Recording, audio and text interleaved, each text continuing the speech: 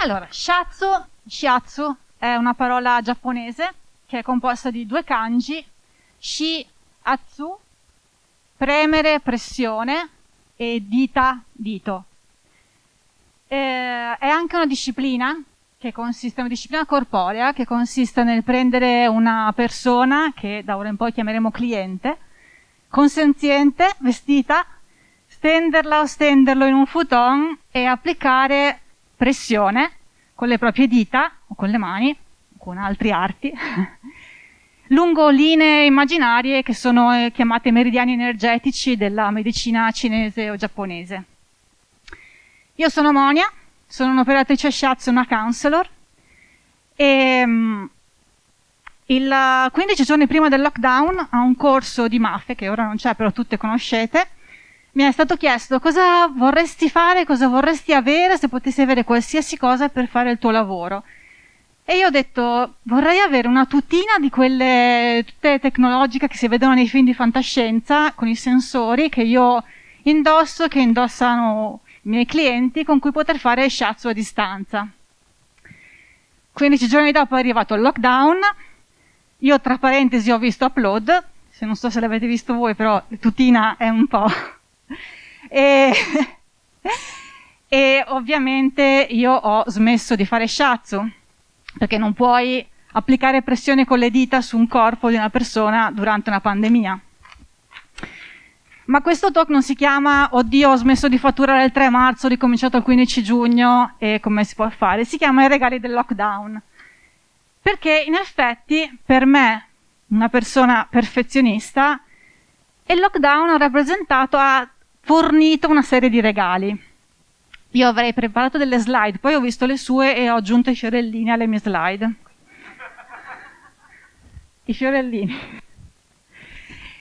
Il primo regalo è sperimenta, che per una, per una perfezionista sperimentare è più o meno una bestemmia, perché vuol dire uscire nel mondo con una cosa che di perfetto proprio per definizione non ha nulla. Grazie. Però il lockdown è stata una situazione talmente particolare, talmente assurda, in cui c'erano talmente tante persone che non sapevano cosa fare e in cui io dovevo solo che inventarmi che ho detto vabbè oh proviamo ho provato, ho fatto degli esperimenti e sono stati una, una bella esperienza questi esperimenti che mi sono portata ora fuori dal lockdown con un insegnamento cioè trova trova un gruppo di persone disposte a accogliere la tua imperfezione e di cui tu sei disposta, io, tu, io, ad accogliere l'imperfezione in modo che possiate essere imperfetti insieme, sperimentare le vostre cose in un contesto protetto, in cui nessuno giudica la persona, ma in cui si accettano e si danno le, le proprie impressioni, in modo che si possa procedere verso questa lunga strada che è la perfezione senza mai raggiungerla, però potendo almeno fare delle, delle prove reali. Ora attacco.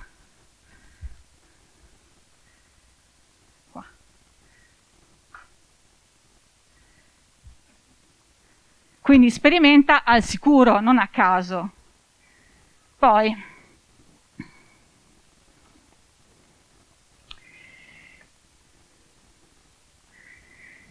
sperimentando a caso ho scoperto che un'altra cosa, un'altra affermazione che una perfezionista può dirsi è questa, funziona anche se non è perfetto, che è diverso da fatto è meglio che perfetto. Perché se a me, perfezionista, mi dite fate è meglio che perfetto, io ti dico sì, per te, per me non è fatto se non è perfetto. Eh. Però funziona anche se non è perfetto, sposta l'attenzione verso l'efficacia e non più verso il prodotto.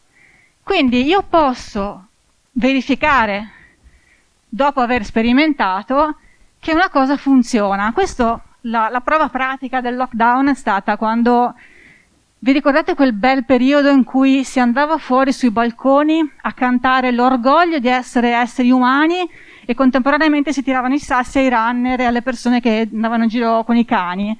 In quel momento là io ho detto no, aspetta, c'è qualcosa che, che non torna.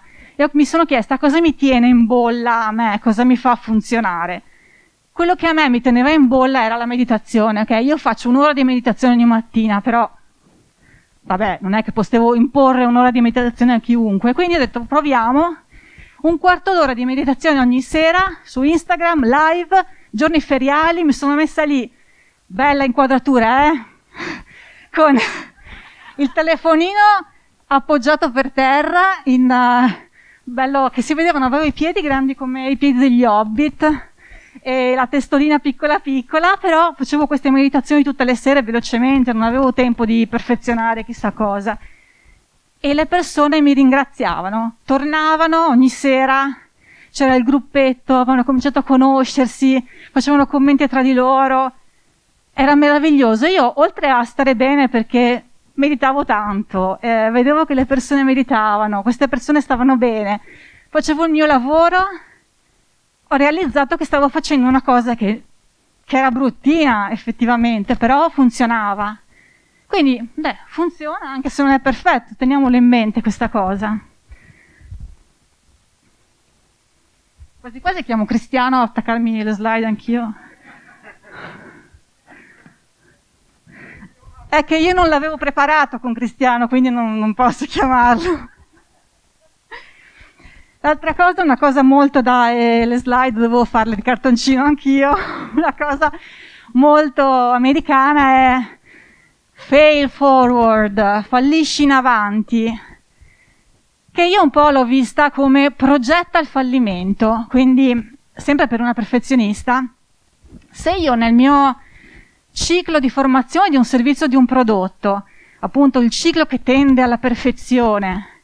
Progetto anche già che ci saranno degli errori, so già che fallirò, so già che fa parte della, del mio servizio un miglioramento continuo, riesco a sfruttare il fallimento, l'errore, che l'errore per una perfezionista è un fallimento, non è che c'è l'imperfezione così il, il pelucco, no, no, è proprio sbagliato, è oddio, butto tutto. Ma invece se io lo prevedo prima e prevedo che sbaglierò e che da lì potrò partire, allora posso andare avanti, perché qui la, l'idea è che un perfezionista, molto spesso una perfezionista, non arrivano a proporre niente perché non finiscono, perché io, eh, io, nel 2015 sono venuta qui, ho fatto uno speech in cui parlavo, un talk in cui parlavo di eh, gli esercizi per il freelance sedentario, ci mettevo dentro quello di cui ho sempre parlato io, che sono i cinque movimenti, e dal 2015 ho questa idea di fare le meditazioni sui cinque movimenti. Ecco, io le ho fatte nel 2020 queste meditazioni. Sono cinque anni che preparo le meditazioni dei cinque movimenti, mi ci è voluto una settimana per farle poi, perché perché è così che funziona una persona perfezionista, non è mai a posto finché non gli capita una pandemia e quindi gli dà un po' un hop hop e svegliati fuori.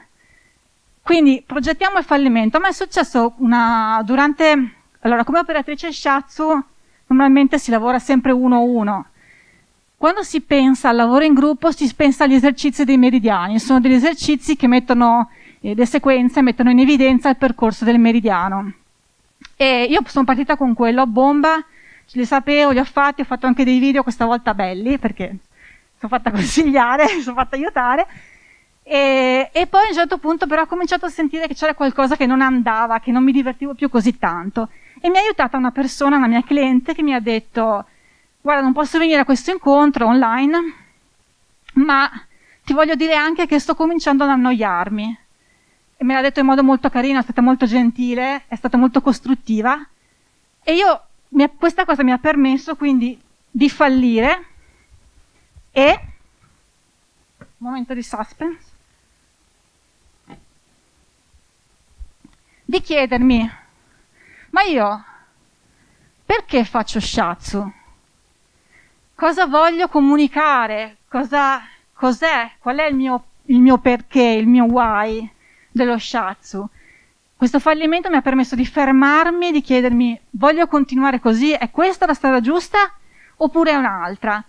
E a quel punto mi sono resa conto che gli esperimenti, ciò che funzionava, che era efficace, e i fallimenti mi potevano insegnare che quello che è per me lo shiatsu, cioè la, l'ascoltare il corpo, la, l'accogliere quello che si sente, le sensazioni che vengono dal corpo, rispettare queste sensazioni e poi dare una forma verbale a queste sensazioni, perché noi sì è vero che siamo corpo, ma noi siamo anche testa, siamo anche mente, abbiamo bisogno di, di utilizzare le parole per descrivere quello che sentiamo, altrimenti restano delle sensazioni che sono, sono inspiegabili per la mente. Quindi quello che io faccio con lo scienza è proprio questo, è ascolto, rispetto, accoglienza e poi comunicazione con l'altro. Come potevo fare a rendere questa cosa in gruppo senza toccare le persone?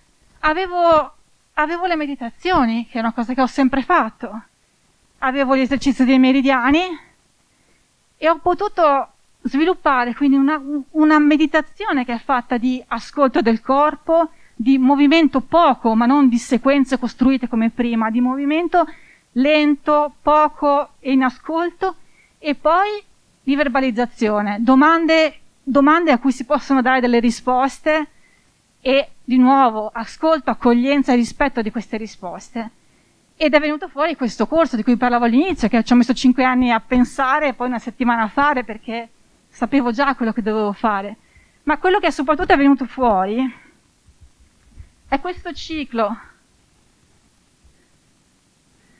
che poi è bello perché io lavoro con i cicli normalmente e sono riuscita a, a vedere questo ciclo veramente che è un ciclo produttivo anche per una perfezionista perché ti permette di, di, di andare avanti per cose che funzionano, per, diciamo per prototipi in realtà, perché poi così, così già nella mia testa ci sono già delle raffinazioni successive. E quindi io posso ogni volta sperimentare delle cose provare che sono funzionanti, prevedere il fallimento e da questo costruire qualcosa di più tornando alle basi e poi ricominciare così il ciclo e uscire, fare sempre servizi e prodotti che funzionano. E niente, il lockdown, la pandemia, tutte le malattie, le tragedie secondo me non sono un dono, mai. Però il lockdown a me dei regali li ha fatti e spero che ora qualcosa sia passato anche a voi. Grazie.